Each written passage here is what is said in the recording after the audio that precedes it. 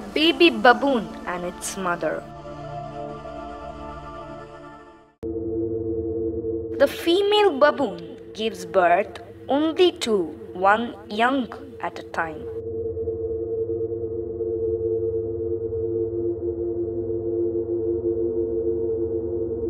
The young monkey stays with its mother for a year, often clinging to her tummy.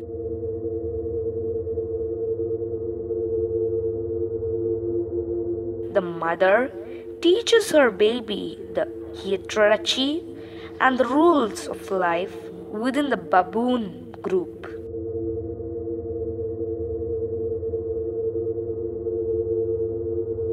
By the time it is a year old,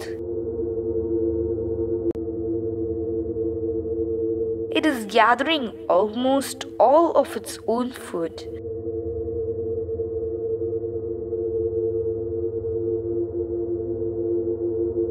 The baboons inhabit African rocky or wooden zones.